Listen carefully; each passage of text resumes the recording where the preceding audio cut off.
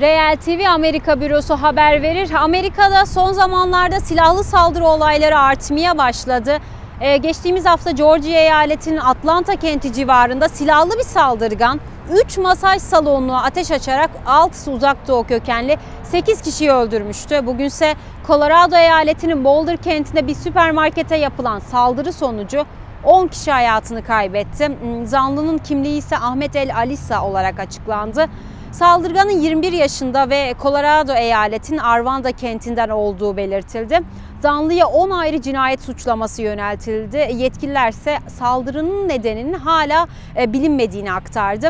İşte e, bir haftada ikinci kez düzenlenen toplu silahlı saldırı Amerika'da uzun zamandır tartışılan bireysel silahlanma konusunda tekrardan gündeme getirdi.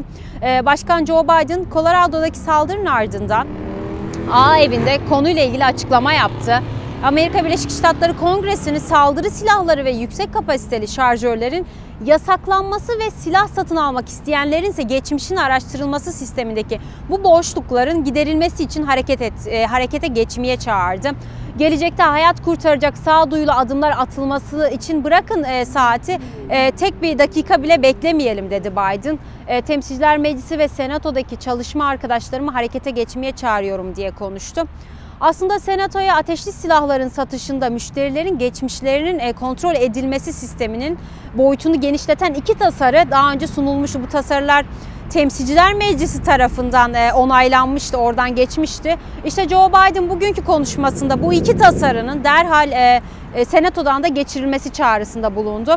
Bunun partizan bir mesele olmadığını ve olmaması da gerektiğini vurguladı. Bu Amerika'nın meselesi dedi, hayatları kurtaracak dedi. Amerikalıların hayatlarını kurtaracak bir mesele. Derhal harekete geçmeliyiz ifadelerini kullandı Biden.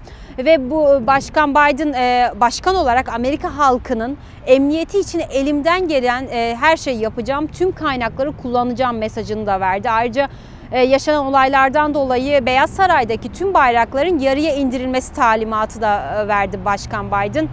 Konuyla ilgili başka bir açıklama ise Nancy Pelosi'den geldi. Temsilciler Meclisi Başkanı Nancy Pelosi, Colorado'daki şiddet olayının silahlar konusunda daha sert yasaların hayata geçirilmesine olan ihtiyacı bir kez daha gösterdiğini vurguladı.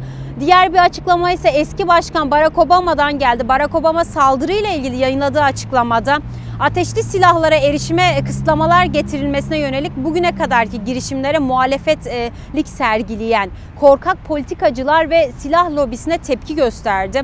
Eski Başkan Barack Obama şöyle konuştu.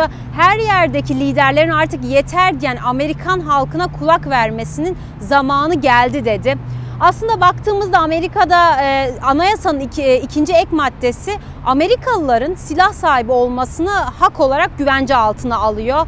Amerika dünyada sivillerin en yüksek oranda silah sahibi e, olduğu ülke konumunda bulunuyor şu anda.